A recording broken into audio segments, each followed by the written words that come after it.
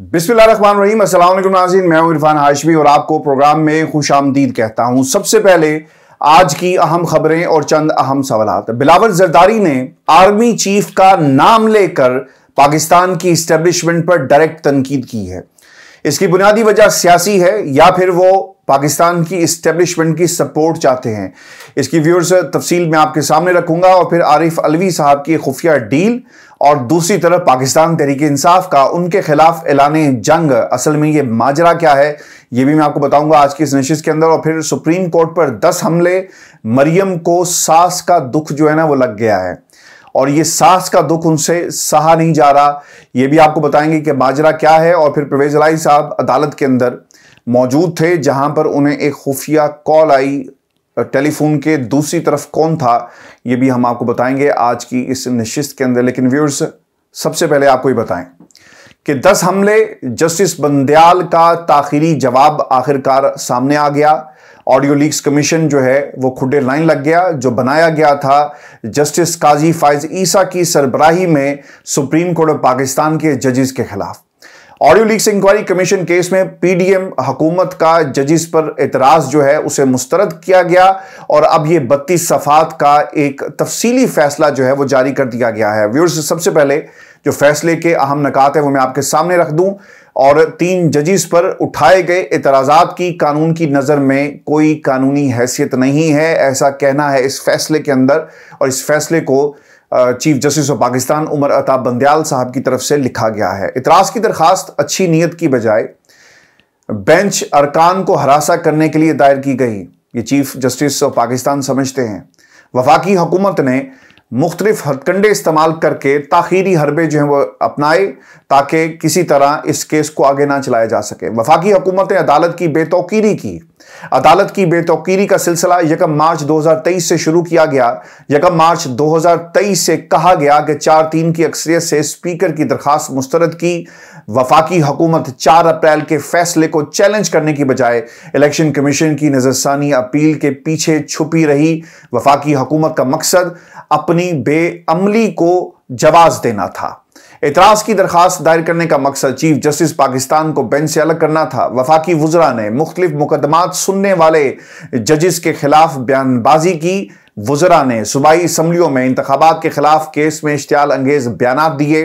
पंद्रह मई को पंजाब असम्बली में चौदह मई को इंतबात के अदालती फैसले पर रुकावट के लिए मुजाहरा किया गया। इस मुजाहरे का परेशान कन पहलू हुकूमत की इतिहादियों को अदालत के खिलाफ एहतजाज में दी गई मदद थी। व्यूर्स आपको याद होगा कि किस तरह फजल रहमान के वो रेंटा क्राउड जो था, वो सुप्रीम कोर्ट ऑफ़ पाकिस्तान के दरवाज़ों पर चढ़कर, दरवाजे अबूर करके रेड जोन में दाखिल हुआ और उन तमाम जितने भी बैनर्स उन्होंने उठा रखे थे, उन पर चीफ जस्टिस ऑफ़ पाकिस्तान के खिलाफ नारे दर्ज थे। लेकिन हुकूमत ने इसे कहा कि जनाब एहतजाज करना हर एक का हक है और एक बाकायदा सहूलतकारी की गई उस वक्त रेंट क्राउड के जो मौजद थे, जो रूए रवा थे, फजल रहमान साहब, उनके लोगों के लिए।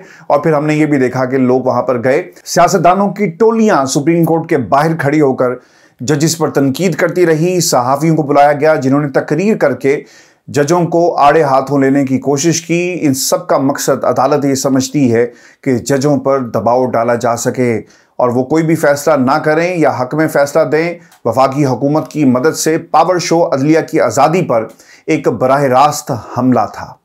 व्यूर्स अदालत ने फैसले में ये भी लिखा कि अदालती फैसले ना मानने पर वफाकी हुकूमत के खिलाफ कोई तादीबी कार्रवाई नहीं की। ऑडियो लीक्स आने पर वफाकी हुकूमत और इतिहादी जमातों ने अदालती फैसलों, कार्रवाई पर धमकियाँ दी। जारहाना मुजाहरे में चीफ जस्टिस पाकिस्तान को संगीन नोयत की धमकियाँ दी गई।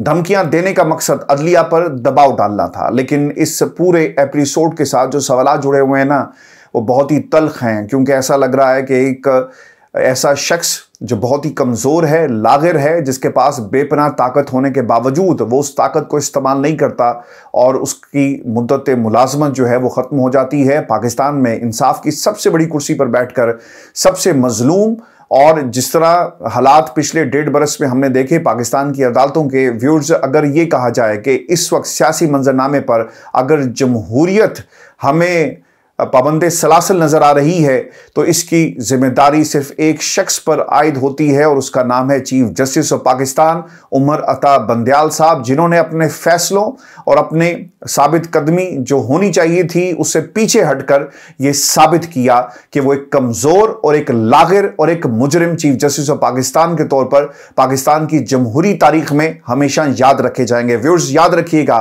कि अहम फैसले और अहम सवालात जो इस पूरे एपिसोड के साथ जुड़े हुए हैं। चीफ जस्टिस बंदयाल ने अपने और सुप्रीम कोर्ट पर किए गए पीडीएम और सबका हुकूमत के दस हमलों का जवाब देने में बहुत ताखीर कर दी। इतनी ताखीर कि अब कुछ नहीं हो सकता।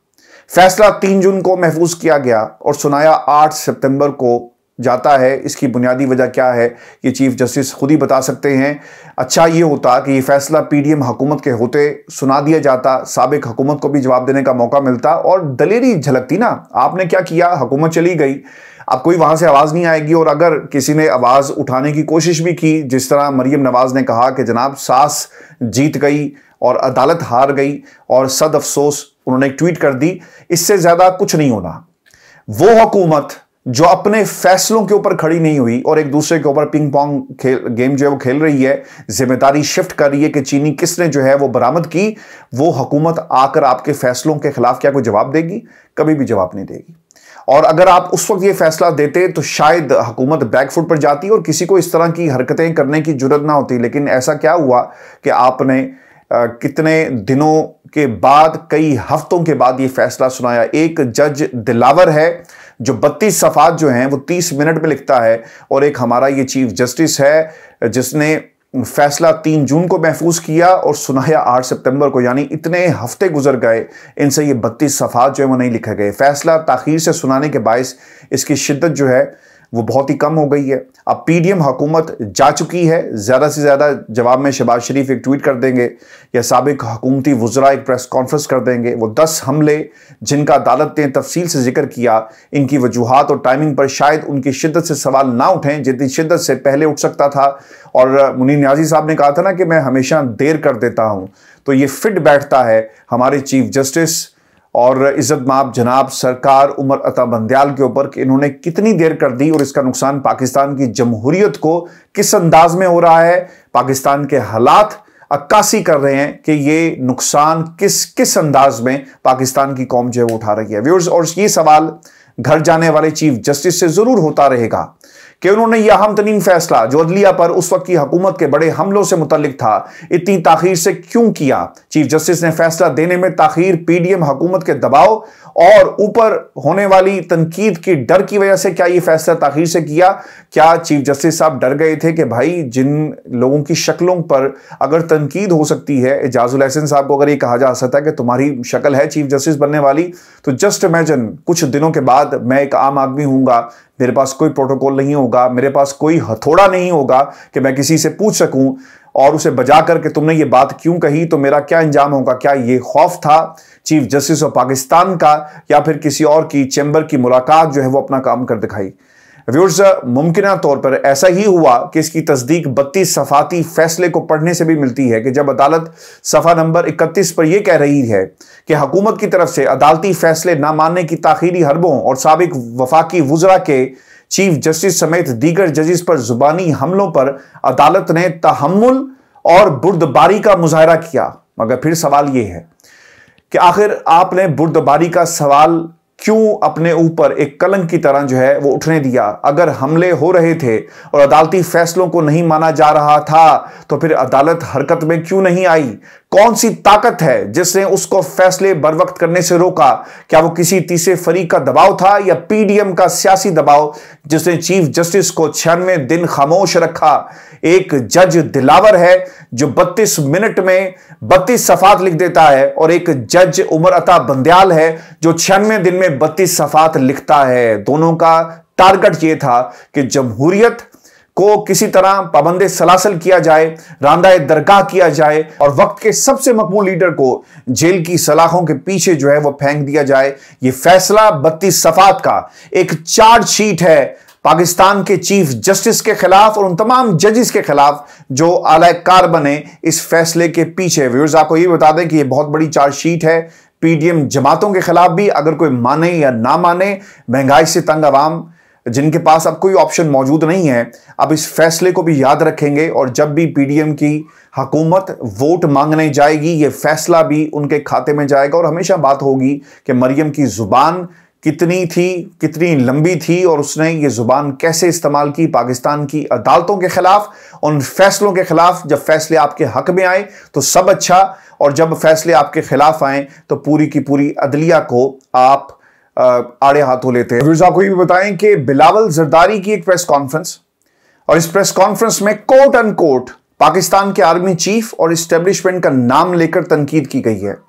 ये मैंने थंबनेल में सिर्फ़ व्यूअरशिप के लिए नहीं लिखा, बल्कि जो कुछ पाकिस्तान के मीडिया के सामने हुआ, हम उसे मिनोन आपके सामने रख रहे हैं, और ये तनकीद की बुनियादी वजह क्या थी, इसका भी हम जायजा लेंगे। लेकिन सबसे पहले व्यूर्स आपको बताएँ कि बिलावल भुट्टो के मुताबिक पीपल्स पार्टी का मुतालबा है कि जल्द से जल्द इंतबात जो है वो करवाए जाएँ। आइन के मुताबिक नबे रोज में इंतबात कराए जाएँ ताकि हम वो इलेक्शन जीत कर पाकिस्तान के अवाम की खिदमत कर सकें और आवाम को मुश्किल मुशी हालात से निकाल सकें। पाकिस्तान पीपल्स पार्टी के खिलाफ प्रोपोगंडा जो मुहिम है, वो जुल्फ़ार भुट्टो के दौर से चली आ रही है और हर बार किरदार कुशी करने वालों को अपनी कारकर्दगी से मुँह तोड़ हमने जवाब दिया है और इस दफ़ा भी हम जवाब देंगे।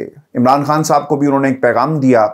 आसिफ अली जरदारी ने मुल्क में तीस साल सियासत की है और वो ग्यारह बरस तक जेल में रहे। वो जेल में इसलिए रहे कि उन्होंने करप्शन की थी और फिर उनकी, उनके जो हवारी थे और जो आज उनके दोस्त हैं, उनसे बनती नहीं थी। आप जिन्हें तकलीफ़ का सामना कह रहे हैं, जब आपके ऊपर इल्ज़ाम होगा, आपको जेल में ही रहना पड़ेगा। और अगर आप अदालतों से सुरखरू नहीं होंगे, यानी कैंगरू कोर्ट्स में तो खान साहब के साथ जो कुछ हो रहा है ना, उस वक्त की अदालतें और तरह की थी। और आपकी करप्शन के किस्से आज जाकर बंद हो रहे हैं, चैप्टर्स आज क्लोज हो रहे हैं। ये कहानियाँ नहीं हैं। इनके ऊपर डॉक्यूमेंट्रीज बनी लोगों ने अपनी ऑटोबायोग्राफीज के अंदर हवाला दिया। मिस्टर टेन परसेंट का नाम आपके वालिद मोहतरम का था। वो किसी के और के बाप का नहीं था। जाकर चेक कर ले, आपको मालूम हो जाएगा कि इसके अलावा किस किस्म के अलकबात से दुनिया आपके वालिद मोहतरम को जानती है। फिर वो ये कहते हैं कि इसलिए हम इन सियासतदानों को हौसला देना चाहते हैं। इशारा उनका खान साहब की तरफ़ था और वो कंपेयर कर रहे थे जरदारी की जो जेल है उससे कि उस वक्त जो पाकिस्तान में जरदारी साहब के साथ हुआ, आज यानी इस वक्त वो लोग जो जेल में हैं और जिन तकालीफ का उन्हें सामना है, मैं उनको ये बताना चाहता हूँ कि आपने घबराना नहीं है। जिन कठपुतलियों पर तीस बरस मेहनत करके सामने लाया गया, उन्होंने अस्करी तनसीबात पर हमले किए, कोर कमांडर जीएसयू पर हमले किए। अब इन हमला करने वालों को सबक सिखाने का वक्त आ गया है। मैं इसका जवाब दे दूँ और फिर हम आगे बढ़ेंगे, जो पाकिस्तान की स्टैब्लिशमेंट को पैगाम दिया गया और जो उन्होंने पाकिस्तान के आर्मी चीफ और माशी जो पॉलिसीज़ हैं, उसके हवाले से उन्होंने बात की। बिलावल जरदारी साहब, शायद उन्होंने तारीख का मुताल जो है वो नहीं किया, या फिर उनको भी शॉर्ट टर्म मेमोरी लॉस वाली जो बीमारी है वो शायद, उससे वो इस वक्त लड़ रहे हैं। क्योंकि फिगर्स बड़ी इंटरेस्टिंग है। और अगर आप ये कहना कि 30 बरस तक पाकिस्तान तरीके इंसाफ को पाला गया और पाकिस्तान की स्टेब्लिशमेंट ने उन्हें तैयार किया तो मैं आपकी तवज्जो और आसिफ अली जरदारी के इस फर्जंद की तवज्जो उन फिगर्स की तरफ़ दिलवाता चलूँ जो 2018 के इलेक्शंस की शक्ल में हमारे सामने मौजूद हैं। इलेक्शन कमीशन के मुताबिक 2018 के आम इंतबात में वोटिंग की शरह तकरीबन 50 फ़ीसद रही, यानी 50 फ़ीसद पाकिस्तान ने वोट नहीं डाला 50 फ़ीसद लोगों ने वोट डाला। आदि आबादी जो है वो वोट्स के हक से अपने आप को महरूम करती है, इसलिए मैं कहता हूँ कि वोट डालो। ताकि फैसला हो सके। आजकल जो सर्वेज आते हैं ना, उनमें अक्सर लोग ये कहते हैं कि यार, हमने वोट किसी को भी नहीं डालना है। ऐसा मत कीजिएगा। जो आपको लगता है ना कि कम बुरा है या हालात बेहतर अंदाज में बाकी जमातों की नस्बत जो है वो हल कर सकता है, आप अपनी वोट की ताकत को ज़रूर इस्तेमाल करें। इलेक्शन कमीशन के अदालत शुमार के मुताबिक पचास फ़ीसद वोट जो है, वो डले। पीटीआई गौर से सुनिएगा। बिलावल जरदारी साहब, आप भी सुने। पीटीआई को इंतबात में, कौमी असम्बली में एक करोड़ अड़सठ लाख इक्यावन हज़ार दो सौ चालीस वोट जो है वो पड़े हैं। क्या ये तमाम वोट पाकिस्तान की अस्करी क्यादत ने उस वक्त की, या फिर पाकिस्तान की स्टैब्लिशमेंट ने दिलवाए थे? इलेक्टेबल्स की सियासत को कंट्रोल किया जा सकता है कि इस पार्टी को छोड़कर दूसरी पार्टी में चले जाओ, लेकिन ये वोट बैंक जो है ना, इसे कंट्रोल नहीं किया जा सकता भाई साहब। और फिर आपके जो फिगर्स हैं, उनको भी जरा मुलायजा कीजिए। पाकिस्तान मुस्लिम लीग नून को जो वोट पड़े, वो तकरीबन 20 लाख उसमें कमी आई, वोटों में कमी आई और वो वोट कहाँ चला गया? पाकिस्तान तरीके इंसाफ के खाते में। और इन्हें एक करोड़ अट्ठाईस लाख छियानवे हज़ार तीन सौ छप्पन वोट जो हैं, वो पड़े हैं। यानी पाकिस्तान तरीके इंसाफ से कई वोट जो हैं, कई जो लाख वोट उन्हें कम पड़े और पाकिस्तान पीपल्स पार्टी का ये बचूंगड़ा, जिसका नाम बिलावल जरदारी है, जो वजे बनने के ख्वाब देख रहा है। उसे कितने वोट पड़ते हैं उसकी जमात को? उनहत्तर लाख एक हज़ार छह सौ पचहत्तर वोट। और ये ख्वाब देख रहे हैं पाकिस्तान की मीशत को ठीक करने का। और इन्होंने अब पंगा ले लिया है पाकिस्तान की स्टैब्लिशमेंट से और पाकिस्तान की स्टैब्लिशमेंट को ये पैगाम देकर। तो व्यूर्स ये रिकॉर्ड दुरुस्त करना बहुत ही ज़रूरी था। वो ये कहते हैं, जो पैगाम उन्होंने पाकिस्तान की स्टैब्लिशमेंट को दिया, सियासी। और दूसरी क्या वजह वो भी मैं आपके सामने रख देता हूँ। कठपुतलियाँ बनाने वालों के लिए भी वाज पैगाम है कि आपको भी पाकिस्तान के अवाम खबरदार करते हैं कि हमारे ऊपर इस किस्म के तजर्बे करना बंद कर दें। अगर अवाम मियाँ नवाज़ शरीफ को मुंतखब करते हैं तो उन्हें कबूल करना चाहिए और अगर अवाम पाकिस्तान पीपल्स पार्टी को मंतखब करते हैं तो सबको ये कबूल करना चाहिए और अगर अवाम तहरीक इंसाफ को भी मुंतखब करें तो इसको भी कबूल करना होगा। भाई साहब, ये नंबर जो है ना, जाकर इलेक्शन कमीशन की वेबसाइट पर पढ़ें, इन्हें रट लें। ये नंबर्स जो है ना, किसी के मरहूने मिनत नहीं है। ये नंबर्स खुद ही बोल रहे हैं कि आइंदा हुकूमत और आइंदा अगर फ्री एंड फेयर इलेक्शन हुए ना, और जंजीरों में जकड़ा हुआ इलेक्शन कमीशन और इस किस्म का इंतखब करवाने में कामयाब हुआ, जो आज़ाद इंतखब होगा तो आपको पता लग जाएगा कि ये नंबर्स जो हैं किस तरह मल्टीप्लाई होंगे। और आपको जो तीसरा नंबर मिला था, शायद आपको ये तीसरा नंबर भी आपसे छीन लिया जाए, और आप चले हैं वफाक में। वज़ी अजम बनने के ख्वाब देख रहे हैं। शायद ये आपका ख्वाब पूरा नहीं होगा। मैं नॉर्मली वो अफनान साहब जो हैं, उनकी बात से इतफाक़ नहीं करता अक्सर, चूँकि वो जो बग़ैर दलील के बात करते हैं। और एक प्रोग्राम में उन्होंने मेरे ऊपर भी बहुत सारी बातें कही, जब हमने राना शमीम साहब की स्टोरी को एक्सपोज किया। तो उन्होंने कहा कि पता नहीं किसी ने कह दिया है कि बिलावल जो है वजी बन सकता है। तो मैं उनकी इस बात से इस हद तक ज़रूर इतफाक़ करता हूँ कि बिलावल को पता नहीं किसने कह दिया है कि वो, उसमें ये क्वालिटीज़ मौजूद हैं कि वो अगला वजी अजम जो है वो इमरान खान के होते बन जाएगा। व्यूर्स आपको ही बता दें जो मसाइल का हल आर्मी चीफ के पास नहीं, आवाम की पहुँच ना अदलिया के पास है और ना ही आर्मी चीफ के पास, इसलिए आवाम अपने मसाइल भी हमें बताते हैं। अच्छा ये ना, ये बात जो उन्होंने कर दी है, इसके पीछे ना दो चीज़ें बड़ी इंपॉर्टेंट है। पाकिस्तान पीपल्स पार्टी को ना दीवार के साथ सिंध में लगा दिया गया। उनके पचास साठ लोगों के नाम एग्जिट कंट्रोल में डाल दिए गए। और फिर उन्हें बता दिया गया कि भाई, अगली हुकूमत में आपको सिंध का हिस्सा ज़रूर मिलेगा, लेकिन हम ये भी कोशिश करेंगे कि हम ये किसी तरह हिस्सा आपसे छीन ले। और फजल रहमान साहब को सिंध में चढ़ाई के लिए जो है भेज दिया गया है। फिर आपने देखा कि बाप पार्टी के लोग बलोचिस्तान में किस तरह तोड़े गए और जो हमदर्दियाँ थी वो कहीं और चली गई। और फिर नवे रोज़ और फिर मरदम शुमारी, ये तमाम चीज़ें बड़ी इंपॉर्टेंट हैं। और पाकिस्तान पीपल्स पार्टी अब ये समझती है कि इसके पीछे इस्टेब्लिशमेंट का हाथ है और ये बेहतरीन मौका है कि हम भी तनकीद करें और किसी तरह वो बयानियाँ जो पाकिस्तान तरीके इंसाफ का है, यानी एंटी इस्टेब्लिशमेंट बयानियाँ, इसे हाईजैक करें और इस्तेमाल करें इन तमाम ताकतों के खिलाफ जो मुल्क के अंदर इंतबात जो है वो नहीं होने देना चाहती। अब आहिस्ता आहिस्ता व्यूर्स एक एक जो सेंटिमेंट पैदा हो रहा है ना सियासी जमातों के दरमियान, मैंने सेंटिमेंट इसलिए कहा, सोच इसे कह लें कि किसी तरह ना एंटी इस्टेब्लिशमेंट बयानी को अपनाया जाए और हम सब जब इकट्ठे हो गए और इमरान खान के जेल में से निकलने की भी अगर हमने बात शुरू कर दी तो फिर हम एक बड़ी ताकत होंगे और हम शायद पाकिस्तान में ताकतवर हलकों के साथ जो है वो टक्कर ले सकते हैं। तो बिलावल जरदारी ने एक सियासी चाल चली है और उनकी कोशिश ये है कि शायद तनकीद करके हम अपनी तरफ़ जो है वो ध्यान करवाएँगे और अगर हमें दीवार के साथ लगाने की कोशिश की जाएगी तो भाई फिर आप हमसे उम्मीद ना रखें, हम आपका नाम लेकर, क्यादत का नाम लेकर जो है आप पर तनकीद करेंगे, क्योंकि ये काम मुआशी पॉलिसीज़ का, वो इस्टेब्लिशमेंट का नहीं है, बल्कि ये जमहूरी हुकूमत के अंदर जमहूरी और सियासी जमातों का होता है। व्यूर्स ये जो प्रेस कॉन्फ्रेंस हुई, इसके साथ जुड़े हुए सवाल मैं अब आपके सामने रख देता हूँ, क्योंकि बिलावल जरदारी ने मीशत और अवामी मसाइल का हल जो है, ये कह दिया कि अदलिया या आर्मी चीफ के पास नहीं है, बल्कि ये पाकिस्तान पीपल्स पार्टी के पास है, या फिर उन सियासी जमातों के पास है जो जमहूरियत पर बिलीव करती हैं। अब ऐसा ही लग रहा है कि ये लड़ाई जो ना बढ़ेगी। और इस प्रेस कॉन्फ्रेंस से ऐलान जंग हमें नज़र आ रहा है पाकिस्तान पीपल्स पार्टी का इस्टेब्लिशमेंट के हवाले से, और वो कोशिश करेंगे कि कोई ना कोई डील जो है वो क्रैक की जा सके डील कर ली जाए, और कुछ लो और कुछ दो की बुनियाद पर जो जमहूरी सेटअप एक निगरान जमहूरी सेटअप बनाने की कोशिश की जा रही है, इसे किसी तरह लेजिटिमेट हम उस सूरत में करेंगे जब हमें कुछ दे दिया जाएगा। ये इस तरह से वो पोस्ट कर रहे हैं।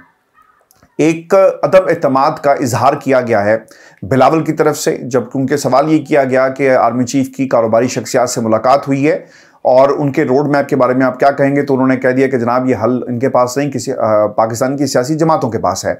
अगर हल आर्मी चीफ के पास नहीं है तो ये बात बिलावल ने अपने वजी शहबाज शरीफ को उस वक्त क्यों नहीं की, जब वो आर्मी चीफ को इन्वेस्टमेंट फैसिलिटेशन काउंसिल बनाकर उन्हें धड़ाधड़ जो है वो बुला रहे थे और हर चीज़ का क्रेडिट जो है उनको दे रहे थे। बिलावल उस वक्त क्यों खामोश रहे? आज ये बोल, पता क्यों रहे हैं? इसलिए बोल रहे हैं क्योंकि इन्हें दीवार के साथ लगा दिया गया है और उन्हें यकीन है कि अगली हुकूमत में इन्हें हिस्सा जो है वो नहीं मिलेगा, हिस्सा उसी को मिलेगा जो सबसे ज़्यादा ताबेदारी जो करेगा या फिर किसी की आँख का तारा होगा। अगर मौशी और अवामी मसाइल का हल पाकिस्तान पीपल्स पार्टी के पास है तो फिर 16 माह के इकतदार के दौरान क्यों ये पेश नहीं किया गया? और 2018 से अपने वोट, बैंक को आप देखें, अपने नंबर्स को देखें, पाकिस्तान की अवाम आप पर यकीन नहीं करती और आप चले हैं मुल्की माशी सूरत हाल को बदलने के लिए। 2018 के अंदर इलेक्टेबल्स को एक जमात से दूसरी जमात में तो लाया जा सकता था, लेकिन ये वोट बैंक, कम अज़ कम मैं व्यूर्स ये इस पूरी जो, ये जो मंत्रा है, इस पर बिलीव नहीं करता कि पाकिस्तान तरीके इंसाफ को पिछले तीस बरसों से जो है, वो अस्करी क्यादत जो है पाल रही है, तैयार किया गया और इस प्रोजेक्ट को मुल्क पर मुसलत कर दिया गया। सीटें इधर से उधर करना, लोगों को लेकर आना, ये अलग कहानी है। लेकिन नंबर्स कुछ और बता रहे हैं। बिलावल खुद तो बतौर वज़ीर खारजा गैर मुल्की दौरों में मसरूफ रहे और शबाज शरीफ इस्टेब्लिशमेंट की आँख का तारा बनने के चक्कर में लगे रहे। अवाम की तरफ़ तवज्जो किसी भी पाकिस्तान की सियासी जमात ने नहीं दी। अब ये सारे मिलकर ना पॉलिटिकल कैपिटल गेन करने की कोशिश कर रहे हैं। छोटी छोटी इन्वेस्टमेंट्स कर रहे हैं। इस तरह की प्रेस कॉन्फ्रेंसेस करके, इस तरह के बयान देकर कि शायद अवाम की तवज्जो और अवाम की हमदर्दियाँ जो हैं, वो इन सियासी बोनों के साथ जो हैं, वो आकर खड़ी हो जाएँ। पाकिस्तान पीपल्स पार्टी अब क्यों एंटी स्टेब्लिशमेंट लाइन ले रही है व्यूअर्स ये एक इंतहाई अहम सवाल है। ये सिलसिला सीसीआई मीटिंग में नई मरदमशुमारी के हक में वोट देने से शुरू हुआ। जब पाकिस्तान पीपल्स पार्टी ने यह कहा कि उनको ये किसी तरफ़ से गारंटी दी गई थी कि नई मरदमशुमारी के नतज की मंजूरी के बावजूद इंतबात में तखीर नहीं होगी। पार्टी की जो हिस्ट्री है, जो मुख्तलिफ़ रहनुमाओं के नाम ई सी सी एल और स्टॉप वॉच लिस्ट में डाले जा रहे हैं, इन खबरों के बाद इनके रवैये में भी ना एक तब्दीली आई। और फिर ऐसा हुआ कि जनाब कुछ इंक्वायरियाँ खुलेंगी उनकी बाजगश भी हमने सुनी। अपने इर्द गिर्द जब इन्होंने देखा ना कि घेरा तंग हो रहा है तो इन्होंने आहिस्ता आहिस्ता पाकिस्तान की इस्टेब्लिशमेंट के खिलाफ ना अब एक बयानिया बनाने की जो है वो कोशिश जो है वो शुरू कर दी है। क्या बिलावल भुट्टो इस बार पाकिस्तान की इस्टेब्लिशमेंट से टकराव का बोझ बर्दाश्त कर पाएँगे? इस पर ज़रूर व्यूर्स कमेंट्स कीजिएगा। व्यूज़ आपको ये बता दें कि आरिफ अलवी साहब का ऐवान सदर में आखिरी दिन है। और आरिफ अलवी के पाँच साल अहदा सदारत की म्याद जो है आज मुकम्मल हो रही है। जब से इनकी मुलाकात हुई है ना, चौथे फ्लोर पर दो अहम शख्सियात से, जिसके बारे में ना तो उसको किसी ने इनकार किया और ना ही कोई बहुत तूफ़ान आया। इसका मतलब ये है कि दो शख्सियात पहुँचती हैं और फिर उनके सामने इलेक्शन की तारीख और फिर अगर आपने आइंदा काम करना है तो फिर किन टर्म्स पे करना है, ये तमाम चीज़ें जो हैं वो ज़रूर डिस्कस की गई होंगी। वर्ज आपको बता दें कि इतलात के मुताबिक हमारे सदर खाली नहीं करेंगे, बल्कि सदारती फ़रज़ सर अंजाम देते रहेंगे। सदर ने गुजशत हफ़्ते बाज़ अहम मशावती मीटिंग्स के बाद नए सदर के इंतब तक फ़रज़ अदा करने पर रजामंदी ज़ाहिर की थी, जबकि सदर लाहौर का दौरा मुकम्मल करने के बाद दोबारा इस्लामाबाद जो है वो पहुँच गए हैं। सवाल जो इस पूरे एपिसोड के साथ ये जुड़े हुए हैं कि सदर क्यों ऐवान सदर खाली नहीं कर रहे? क्या उन्हें कहीं से गारंटीज मिल गई हैं या इन्होंने किसी को गारंटीज दे दी हैं? दोनों तरफ़ से कोई ना कोई बात हो सकती है और दूसरी तरफ़ जो है ना वो चांसेस ज़्यादा है। सदर के पास इस वक्त जो अहम इख्तियार है वो इलेक्शन की तारीख देने के हवाले से है और इस वक्त पाकिस्तान पीपल्स पार्टी जे समेत हर जमात को इलेक्शन नबे रोज़ में चाहिए क्योंकि जिस तरह के हालात व वाक़ नज़र आ रहे हैं इलेक्शन में तारीख मौशी एमरजेंसी का बहाना बनाकर इसमें डिले किया जा सकता है और ख़बर व्यूज़ ये भी है कि शायद मुल्क के अंदर मौशी एमरजेंसी जो है वो लगा दी जाए। और हालात को अगर सदर साहब तारीख का ऐलान कर देते तो शायद ये पूरे का पूरा जो एपिसोड है, इसमें मुझे तो हकीकत जो है नज़र आ रही है क्योंकि खबर इस्लामाबाद में काफ़ी गर्म है कि शायद मौशी एमरजेंसी तो खैर उन्हें लगा दी है, ऐलान नहीं हुआ। लेकिन अगर ऐलान हो गया तो फिर इलेक्शन को आप कम अज़ कम जो है पाकिस्तान में भूल जाए। फिर सादिक संजरानी साहब जो हैं वो जो सदर की अगर सदर चले जाते हैं तो उनका रोल जो है वो निभाएँगे। इस्टेब्लिशमेंट के बहुत करीब हैं, इसमें भी किसी को कोई दूसरी कोई राय नहीं है। लेकिन एक जो स्टेटमेंट जारी किया गया ना, पाकिस्तान तहरीके इंसाफ की तरफ़ से, ये बहुत ही अहमियत का हामिल है। और इस स्टेटमेंट के अंदर व्यूअर्स आपको बताएँ कि कुछ बातें पाकिस्तान तहरीक इंसाफ की तरफ़ से सदर आरिफ अलवी के लिए की गई हैं। एक तो मुतालबा किया गया कि खुदा के लिए आप मुल्क के अंदर इंतबात करवाएँ, लेकिन दूसरी तरफ़ व्यूर्स एक धमकी भी दी गई है। एक ऐलान जंग है, सदर आरिफ अलवी साहब के हवाले से। अगर ये तहरीक इंसाफ की बात मानते, या तहरीक इंसाफ का मुद्दा या केस लड़े होते, जब इनकी मुलाकात हुई थी ना चौथे फ्लोर पर तो एन मुमकिन था कि दूसरी तरफ़ से कहा जाता कि, भाई, आप, अब जाएँ, बहुत हो गया। इन्होंने कहीं ना कहीं कॉम्प्रोमाइज़ कर लिया है। ये इसकी सबसे बड़ी निशानी है, क्योंकि ये अभी भी अपनी कुर्सी पर बैठे हुए हैं। और फिर दूसरी तरफ़ अगर ये कॉम्प्रोमाइज ना होता तो फिर पाकिस्तान तरीके इंसाफ इनका नाम लेकर दरखास्त ना करती, धमकी ना देती, जो उनकी कोर कमेटी की तरफ़ से ये ऐलान जंग किया गया है। सदर ममलिकत से इल्तमास है कि वो अपना दस्तूरी फरीज़ा निभाएँ और आइन की बालादस्ती, जो कि इनके मनसब का कलीदी ज़िम्मा है, यकीनी बनाते हुए बिला तखिर मुल्क में आम इंतबात की तारीख का ऐलान करें, वरना वो आइन की बेहरमती और आवाम के बुनियादी दस्तूरी जमहूरी हकूक़ की पामाली के ज़िम्मेदार होंगे। ये ऐलान जंग नहीं तो और क्या है? पाकिस्तान में इनके मुखालफी कह रहे हैं कि नब्बे रोज़। पीपल्स पार्टी कहती है नब्बे रोज़। ए एन पी कहती है नबे रोज़। दीगर जमातें कहती हैं, जमात इस्लामी कहती है नबे रोज़। फजल रहमान साहब कहते हैं कि अब तक तो इलेक्शन हो चुके होते, नब्बे रोज़ की बाजगाश जब हो रही है। लेकिन अगर आप इनकी तरफ़ देखें, ये नब्बे रोज़ जिनका ये हक था, ये क्यों नहीं कह रहे? यानी वो जो मीटिंग थी चौथे फ्लोर की, वो अपना रंग जो है, वो उसने दिखा दिया, वो काम कर गई, कुर्सी पर बैठे हुए हैं और इन्होंने बात मान ली अच्छे बच्चों की तरह, इसी नौकरी पर, इसी तनख्वाह में जो है वो काम करेंगे। और पाकिस्तान तहरीक इंसाफ की तरफ़ से ये स्टेटमेंट जारी करना, यकीनन ये एक ऐलान जंग है, सदर आरिफ अलवी साहब के खिलाफ जो नुमाइंदगी कर रहे हैं अब किसी और घर की। व्यूर्स आपको ये भी बताएँ कि आज अदालत के अंदर परवेज अलाई साहब को पेश किया गया और परवेज अलाई साहब को पेश करने के बाद, यानी जुडिशल कॉम्प्लेक्स तोड़फोड़ केस में वो अदालत में पेश हुए और कमरा अदालत में परवेज अलाई साहब को दो मरतबा एक फ़ोन आया। और ये फ़ोन जो है, वकील साहब ने, यानी अपने फ़ोन से एक शख्सियत से उनकी फ़ोन पर गुफ्तु करवाई। दूसरी तरफ़ जो शख्सियत थी, वो कोई और नहीं, बल्कि काफ़ी दिनों से पाकिस्तान के सियासी मंजरनामे पर जो लापता शख्सियत है शेख रशीद साहब, ये उनका फ़ोन था और शेख रशीद साहब की तरफ़ से उन्हें एक पैगाम भी भेजा गया और फिर उनकी गुफ्तु भी हुई। परवेज लाई साहब ने शेख रशीद से मुकालमा किया, जो लोग इस तरफ़ खड़े थे, उन्होंने ज़ाहिर बात है वो सुन रहे थे, उन्होंने जो रिपोर्ट किया है और जो बात बाहर आई, वो ये कहते हैं कि मुझे दो दिन थाने, थाना सीआई में रखा गया, जिसमें आपको भी रखा गया था। बहुत जालिम लोग हैं। मैंने बताया कि दिल में स्टंट लगे हुए हैं, आपके बारे में बता रहे थे कि जब शेख रशीद गिरफ़्तार थे तो उन्हें भी बुखार था। परवेज लाई ने शेख रशीद से गुफ्तु करते हुए वज़ी अला पंजाब का भी तस्करा किया और कहा कि निगरान वज़ी अला पंजाब मेरा रिश्तेदार है, लेकिन हालात आपको मालूम है। इमरान खान का शेख रशीद के नाम पैगाम भी एक सामने आया जी। आपके लिए 200 फ़ीसद कोशिश कर रहे हैं। चेयरमैन पीटीआई साथ खड़े हैं, उन्हें सब मालूम है। चेयरमैन पीटीआई ने कहा कि शेख रशीद बिल्कुल ठीक बंदा है, पाकिस्तान तरीके इंसाफ में। बाकियों का तो आपको मालूम है गुजशत रोज़ मीडिया को मैंने बताया कि मुझे शुजात हुसैन ने कहा कि चेयरमैन पीटीआई को नहीं छोड़ना। व्यूर्स ये इस वक्त के हालात हैं। पाकिस्तान की आ, जो सियासी क्यादत है उसके साथ क्या सलूक किया जा रहा है? पाकिस्तान की इस्टेब्लिशमेंट मुशी एक रोड मैप पाकिस्तान की आवाम के सामने रख रही है और फिर इसके साथ साथ दूसरी तरफ़ पाकिस्तान के अंदर जो निगरान हुकूमतें हैं, वो किसी और का खेल खेल रही हैं, अदालतें खामोश हैं, सोए हुए महल का मंजर पेश कर रही हैं, जज खुद से मुजरिम ठहरे, क्योंकि उन्होंने आइन को पामाल होने का एक मौका फराहम किया, लोगों के घर जल रहे हैं, जमहूरियत जो है, वो पमंद सलासल है, उसे लंबी यानी उम्र कैद की सज़ा जो है, जमहूरियत को सुना दी गई है, लेकिन हमारी अदालतें हमारे जो फैसला साज हल्के हैं, वो सिर्फ़ और सिर्फ़ अपनी ज़िद के अंदर अदालतें, अपने जोन के अंदर और किसी के कहने पर पाकिस्तान के हालात को शायद ठीक ना कर पाएँ।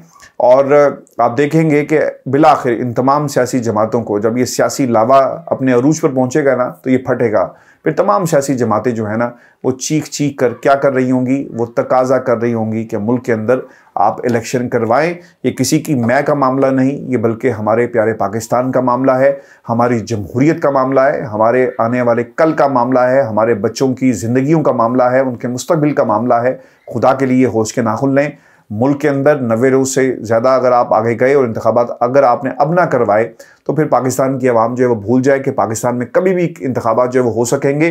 क्योंकि फिर आपको याद है कि ज़िया ने, जनरल ज़िया के दौर में क्या हुआ? जनरल परवेज़ मुशरफ साहब क्या करते रहे?